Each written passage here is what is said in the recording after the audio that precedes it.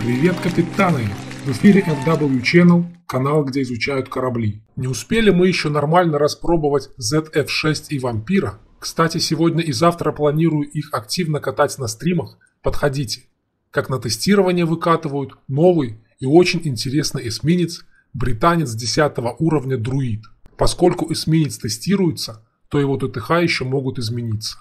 В блоге разработки сказано, что Друид – это супер-эсминец, вооруженный разрабатывавшимися в Великобритании в начале 50-х годов универсальными 127 миллиметровыми установками.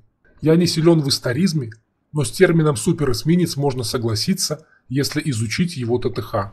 Как и вампир, друид внешне напоминает Даринг. Кроме этого, у них схожий набор снаряжения – дымы, габ и хилка а также оба эсминца медленные. Но на этом сходства заканчиваются и начинаются крайне интересные различия.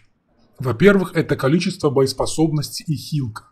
У друида запас боеспособности с перком составляет аж 28 800. Для сравнения у Даринга 24 300, то есть разница значительная. Но дальше еще интереснее. Если у Даринга стоит слабенькая ремонтная команда, то у друида целый ремонтный дивизион способный отхиливать за раз рекордные 10 360 хп.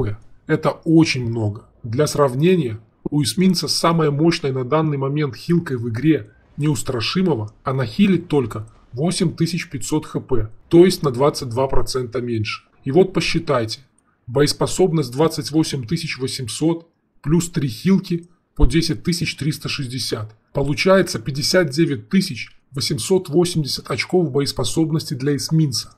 Это действительно супер показатель. Второй суперэлемент друида – это его ГК.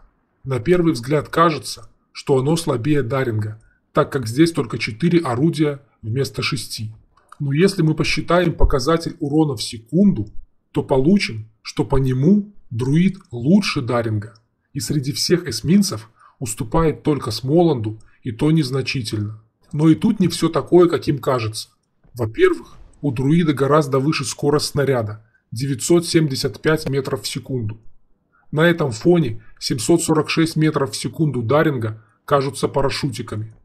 У Смоланда тоже гораздо хуже – 825 метров в секунду.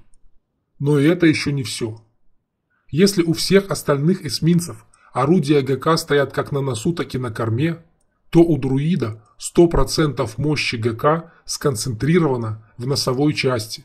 То есть ему совершенно не нужно раскорячиваться, чтобы стрелять на всю свою мощь. По расположению орудий это своеобразный Жан-Барт среди эсминцев. В итоге выходит, что реальный урон в секунду друида в реальных боях является самым лучшим на уровне и просто рекордным для эсминцев. А теперь добавьте к отсутствию необходимости раскорячиваться всем бортом еще и рекордное количество боеспособности с конскими хилками. И кажется, что это просто какая-то несокрушимая имбища. Да, кстати, ПВО друида весьма неплохое, так как вместо отсутствующей задней башни ГК там стоят установки ПВО, что также добавляет живучести.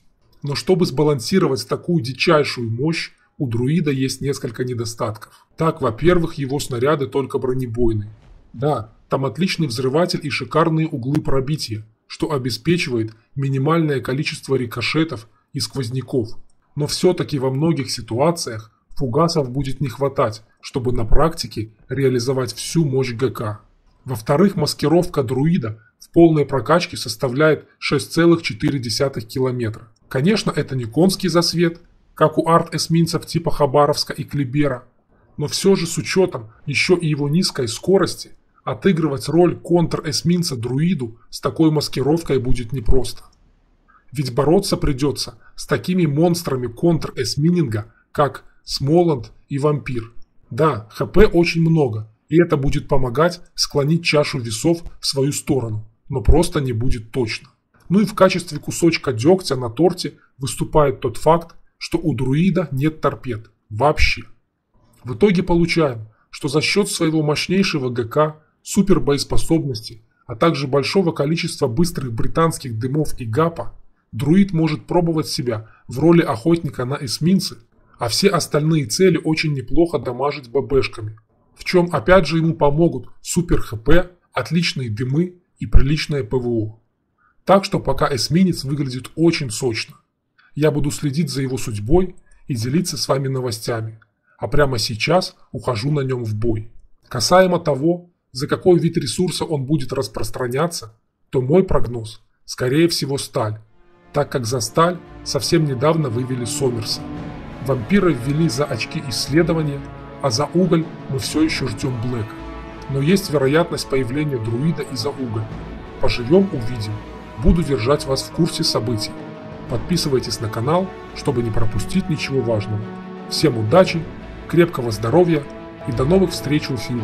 С вами был Супер Джедай.